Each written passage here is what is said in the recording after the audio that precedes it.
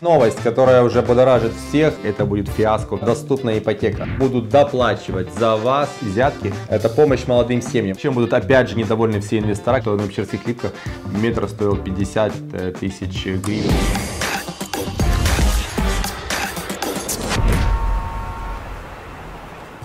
Друзья, всем привет! Вы на канале Недвижимость без цензуры. С вами я, Константин Писаренко, основатель компании The Capital и знаю о недвижимости не понаслышке. В сегодняшнем выпуске мы с вами обсудим новости на рынке Украины на весну 2021 года. Поехали!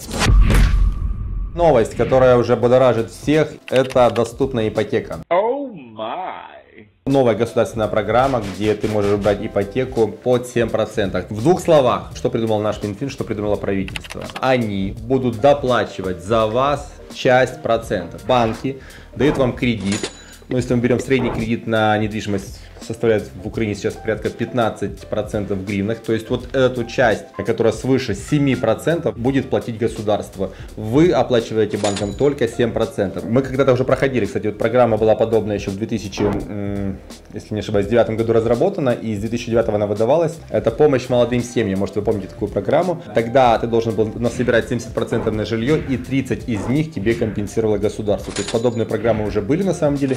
А сейчас она будет работать а, чуть по-другому. В принципе, как по мне, это чуть интереснее и чуть доступнее за счет того, что у вас есть возможность выплачивать квартиру постепенно, кусками, а не а, сразу как там насобирать, положить деньги на счет и только после этого получить а, право на жилье. Какие у нас здесь есть основные ограничивающие факторы? Во-первых, стоимость жилья не должна превышать 90 тысяч долларов, либо 2,5 миллиона. Это мы говорим о тотале. То есть квартира э, дороже 90 тысяч долларов не идет по этой программе. Далее, 20 лет, кстати, хороший срок, 20 лет вам дают э, хороший срок для выплаты, я имею в виду. Испугались? Обосрался. 20 лет вам дают как раз э, для того, чтобы вы справились с этой ипотекой, вполне доступно, вполне реально. Важное ограничение, о котором я еще не сказал. Дом должен быть не старше трех лет. То есть э, у вас э, дома, которые сейчас строятся, пропадают в программу, и те, которые не старше трех лет. А, кстати, э, программа, э, хоть и э, уже запущена, рассчитана пока только на 5000 семей, поэтому если вам интересна именно эта программа, вам нужно срочно бежать, выбирать квартиру и оформлять эту ипотеку. Не верю в то, что это как-то повлияет на рынок цен, на то, что могут, может поднятие цен, связанных именно с ипотечной программой, потому что Минфин сам говорит, что рассчитывает максимум на 5000 семей, которые возьмут этот кредит. Для Киева, даже для одного города Киева, это менее там двух недель продаж э, если брать все ЖК плюс-минус этого уровня. Поэтому если застройщики будут пытаться поднять цены под эту ипотечную программу, я думаю, что это будет э, максимально некорректно и неправильно, и это будет фиаско в первую очередь для них самих.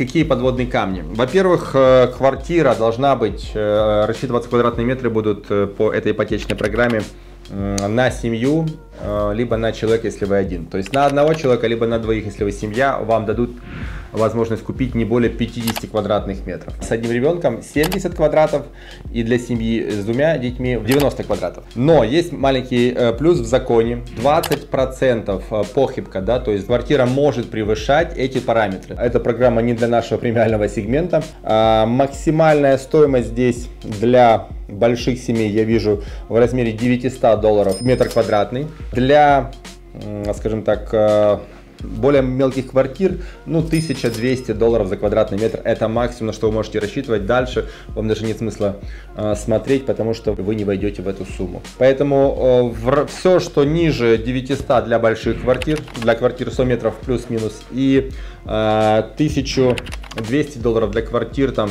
75 метров, тоже плюс-минус. Кстати, а, если говорить о том повышении цен, которое мы видим за последний квартал, когда все застройщики пытаются э, рвать по максимуму, потому что это уже идет сверхдоходность каждого из застройщиков. Я знаю, о чем я говорю, потому что себестоимость выросла максимум там, процентов на 10 за последний год, а за последний квартал э, стоимость квадратного метра, э, а стоимость квадратного метра состоит не только из себестоимости, там еще закладывается стоимость земли, взятки и все остальное. Поэтому не выросли так затраты реальные застройщика, кроме как себестоимость, как они пытаются а, поднять цену. С тем поднятием цены, которое сейчас, по крайней мере, в премиальном сегменте, будет провисание, то есть рынок а, а пойдет на спад, а, и застройщики будут давать либо какие-то скрытые скидки, буквально месяца через 2-3 такого зависания.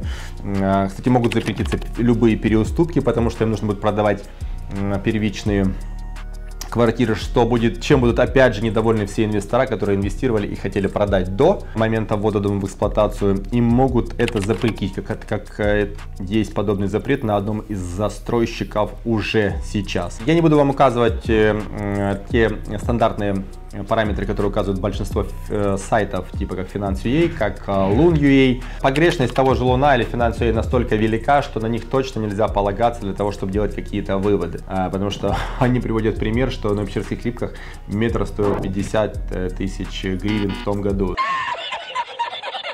Ну, я вам скажу, что 50 тысяч гривен метр на, на нопчерских клипках не стоил, э, наверное, со времен 2008 года, поэтому э, опираться на те данные, которые есть там, точно не стоит. Поэтому всю важную информацию касательно покупки, продажи недвижимости вы должны узнавать только у специалистов, у любых, которым вы доверяете, либо можете обратиться в нашу компанию.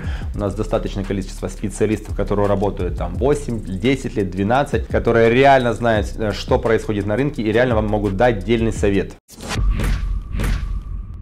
Друзья, а сейчас ваша любимая рубрика «Конкурс». Человек, который оставит лучший комментарий под этим видео по поводу того, что он думает об этой ипотечной программе, получит вот такое вот разовое посещение в клуб Gym Max. Возможно, на летнюю террасу, либо в сам зал. Поэтому пишите комменты, я жду и выберу лучший. В прошлом выпуске был конкурс. Я так понял, вы стесняетесь писать э, всякие инсайты про недвижимость и про застройщиков а мне в комментарии. Поэтому пишите мне в Инстаграм, в Директ, и я лучший комментарий выберу. И тот ценный приз поход в ресторан достанется вам. Локдаун не вечен, там были вопросы. Локдаун не вечен, поэтому сразу же после локдауна сразу же в итальянский ресторан. Вот такая вот новость, связанная с ипотечной программой, которая всех волновала. А, кстати, что вы думаете об этом? Напишите в комментарии, готовы ли вы брать уже под такой процент.